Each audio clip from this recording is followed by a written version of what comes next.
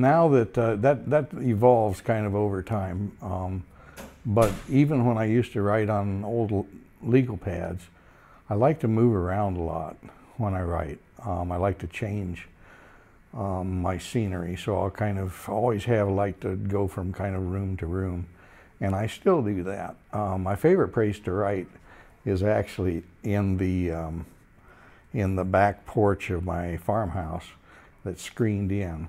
And if the weather's okay, I'm back there with stacks of wood and there's trees out back and I, I like that the best, but still I'll only work there for a little while and then I'll go in the house and then I'll go outside because for some reason just the moving around helps me um, think about the ideas and think about the last couple sentences I wrote. So I move around a lot. Well, I like I say, I used to like to write longhand, even when I didn't have the opportunity.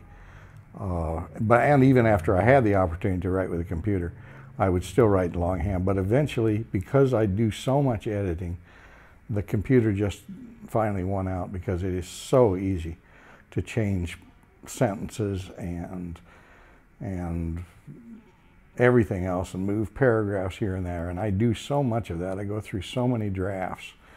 And, and it used to be my old writing tablets were just almost illegible by the time I got through with arrows pointing here and things crossed out and then trying to include them again. And I think it's really the, the ease with which you can make the changes. Not only that, but you can keep the old changes. I mean, you can set a file and then another file and another file and another file and another file, all of it under the same name. And so that you can go back and recapture um, a portion that you wrote once and you remember. I think that would actually work better than I thought it did when I erased it. And so I do work on a computer. Well, generally, generally for me, that's a no-no. If there's something I'm using a lot, I'm using it too much.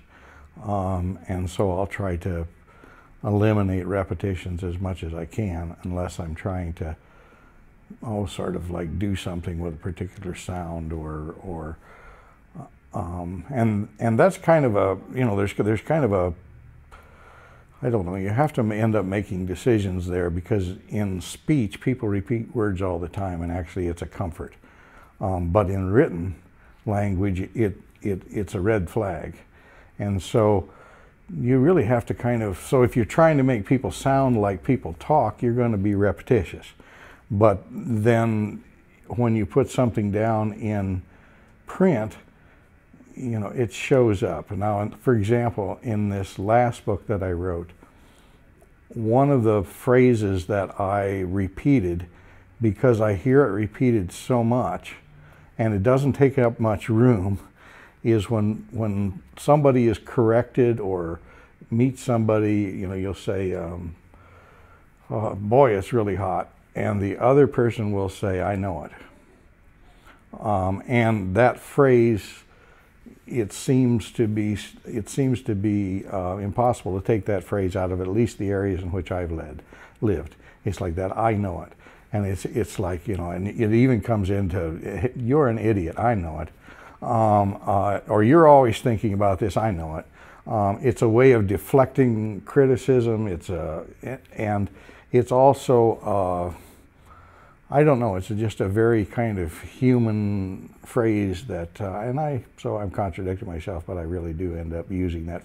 I did purposely repeat that phrase um, a number of times in the book because I wanted my characters to be saying, I know it, I know it. I don't really have one. I mean, there's there's kind of a group of them, and let's see.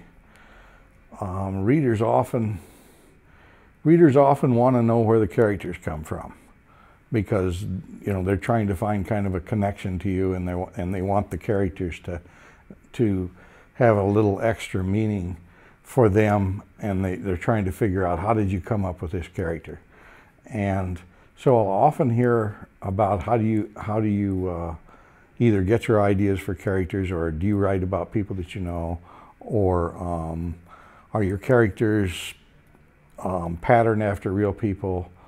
Um, so that's that's a very a very common one. Um, probably a little less common than where do you like to write?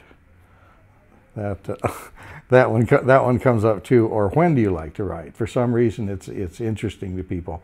Do you like to write? Do you have a particular time you like to write, or uh, or you know time or places you like like to write? And again, that's another way of readers being able to familiarize yourself. They like to have a picture in their head um, for you know where you where you're doing that work that they've become familiar with. My stock answer for that is that I'm a very driven writer, which I am, but a writer with no discipline.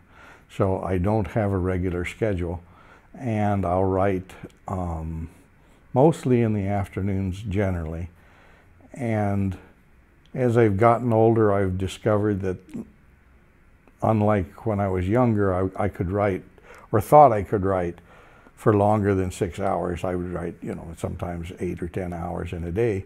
But much of that writing after some point isn't productive, and now I don't try to write after six, partly because I can't sleep if if you just concentrate. It's like having too much input on one thing. You just go, your, your mind circles and circles and circles and is very unproductive. So uh, about six hours, mostly in the afternoon, but that bleeds on into evening frequently. And, um, and but there are many days I, that I don't write any. I'm not a person that has ever been comfortable with imposing on me or the people that I usually live with is I have to work from this time to this time. So leave me alone. It, it just doesn't work that way. And I, and I want my writing to be part of my sort of daily activity to be part of the daily flow of the household so that uh, it's not taking a, a, special place. It's just so the writing fits in rather than people having to fit into my writing. So, which is part of the reason that my books take a long time. You're always, I guess, or I am, what I try to do is tell a story. I mean, I'm basically a storyteller. And the story, in order to tell the story, the, there, there needs to be a place and there need to be characters and they need to be doing things. And those three elements of a story are always present. And the story that I'm trying to tell, um, for me, always, or, or in order for it to really engage me enough to work, you know, five or ten years on, which these things usually take, is is I, I need to be to feel some amount of urgency and passion in in the theme, and so then the characters then are part of that theme, and they and and by working with them, I work out my thoughts on these particular things like you know like freedom or like identity, and and that gives me the opportunity to look at these different um, things from a number of places and and to come to a better understanding of them for myself, and I guess if the character has in some way exhausted those themes, and I can't think of another theme in which that their that their that their characters would help to portray, then I'm done with them. Um, but if in fact they have they're suitable for another theme or another story, then then they then they're available to to use again. But the the selection of characters, selection of place are, are important because the place dictates who can be in the place. I mean, you don't want characters that, that, the readers will think, what is he doing here? Or what is she doing here? She doesn't seem like a person that would be in a place like that. And then the other one is once you have the characters and you have things for them to do, if you try to force them to do something that the character wouldn't normally do, then it's not going to feel right. You think, that she wouldn't do that. She wouldn't say that. She wouldn't act like that in that situation from what you've told about her earlier. And so the place dictates characters, and the char characters dictate uh, what they'll do, and the, the story somehow has to be told within those confines. So that's how it works. I think for me, at least so far, um, the stories seem to rise up out of my experience with the places that I live. And I, I wouldn't I wouldn't exactly say they rise out of the ground, but but they they do have they definitely have something to do with the place. I mean, especially rural areas, which I like to write about. Um, they're in order to understand like a community, I think we, in, it's like getting to understand like a family, you know, the next door family. The one thing that, first thing you have to, to, to uh, just forget about is the idea that everybody that belongs to this family is all the same, because they're not. They're very, family members are very, very different, but they share something in common. And that's kind of the way I feel about uh, communities, is that there's a kind of a similar tension that, that the people in that area share. But that's very, also very tricky too because they don't respond, all people don't respond to the same tension in the same way. In other words, everybody that lives in rural Colorado isn't a rough and tumble individualist. They aren't. There are all kinds of other people there.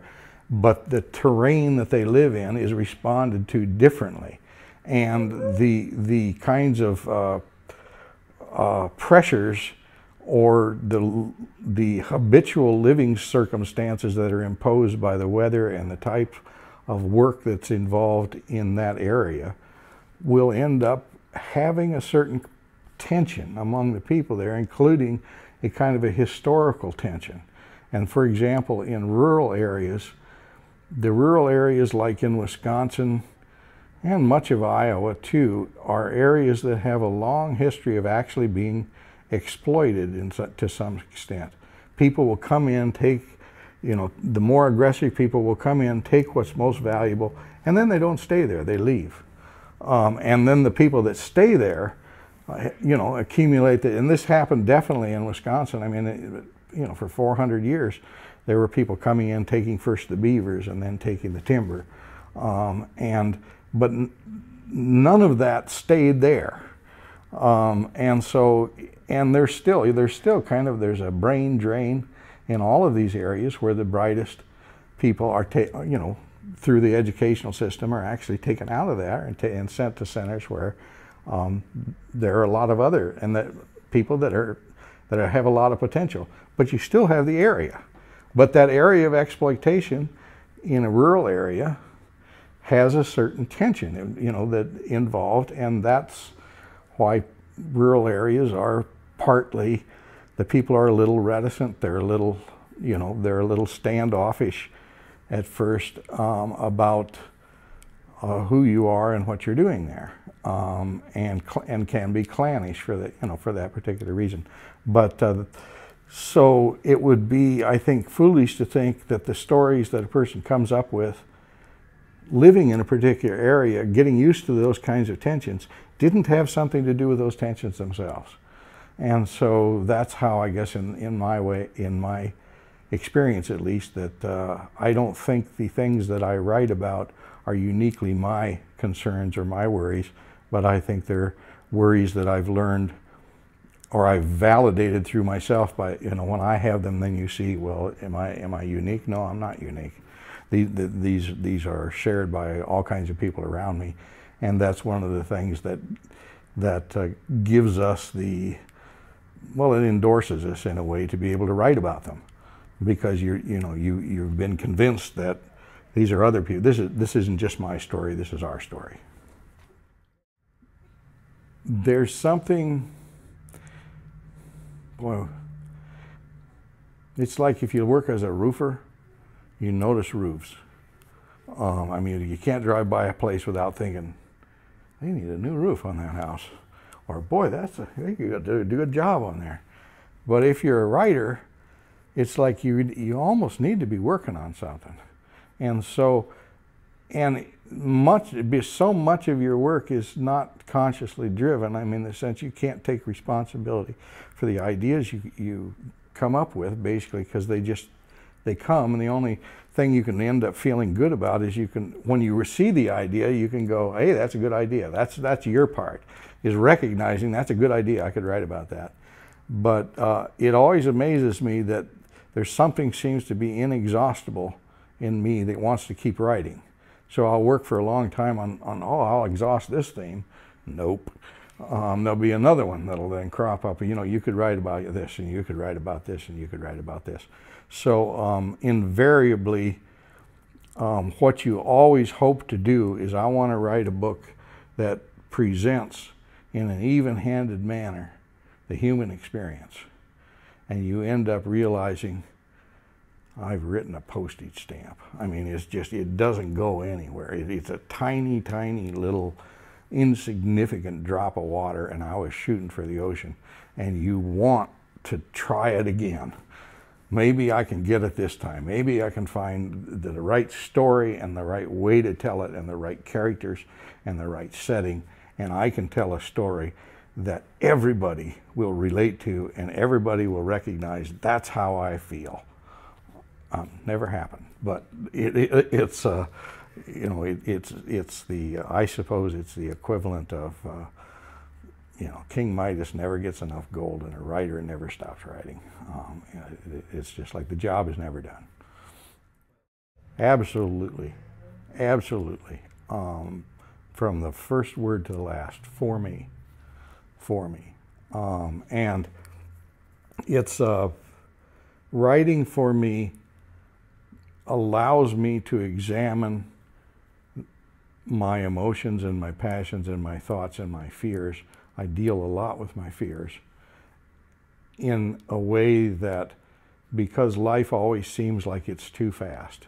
It comes at me too quickly. I don't have enough time to absorb it. I don't have enough time to prepare what I, what I say, how I respond to people. I'm not taking enough in. Um, I'm constantly realizing I said the wrong thing. I should have been kinder. I should have been more thoughtful. I should have understood this situation because, you know, I was there. Why didn't I see that this person's real agenda was this? I didn't understand it.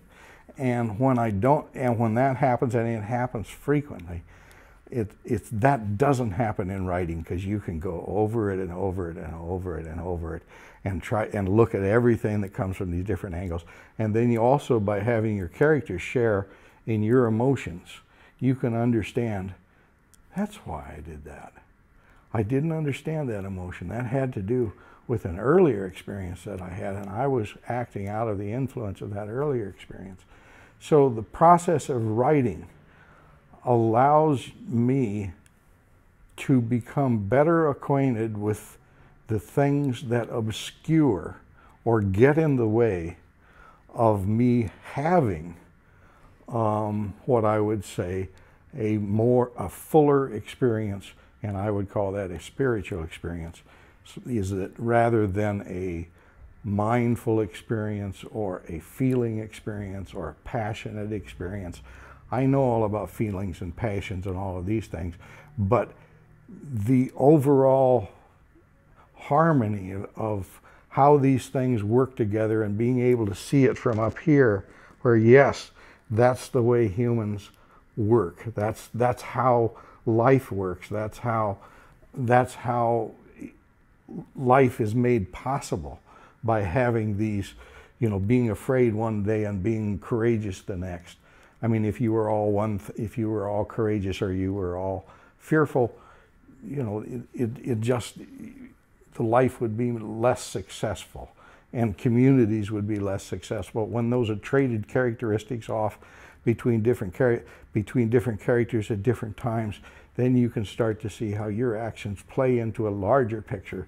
And these, these, these bigger insights, which can never be entirely articulated, but they can be sensed through different kinds of art and different kinds of literature, are, are I don't know, I call them spiritual. Um, and that's uh, and so it's a very it's a very big spirituality is a very big part of my writing as has a sense of thankfulness. Um, it's like giving back.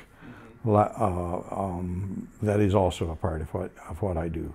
Um, it's like our appreciation I guess maybe that's a better word is that you know I appreciate um, the opportunity to be able to show the kinds of wonder I find in the world and the kind of, uh, I don't know, joy that I experience by watching other people um, find, overcome the obstacles that they have in their lives. Trying to think of how to answer that in a term that, in a way that, that isn't too general to be meaningless. Um, because there are so many kinds of writers. And the, for instance, I mean, the, the, the, motivation for writing can, can be different for lots of different kinds of writers. Um, and when you first asked the question, I was, my first instinct was to say, there's a writer must in some way be partly an entertainer. It's like an entertainer that doesn't want to stand up himself um, in front of a camera, um, or an entertainer that isn't quick enough to respond uh, the way like comedians can in real time, but takes time to think of the right response over time and then put them down. Um, but in thinking back, I think there are some writers that probably wouldn't even fit that description. They're really not entertainers and they're not concerned with entertaining. Um, and then there are fiction writers and nonfiction writers, and that can be really different. Um, and so I guess I'm going to have to say a, a writer is an individual that writes.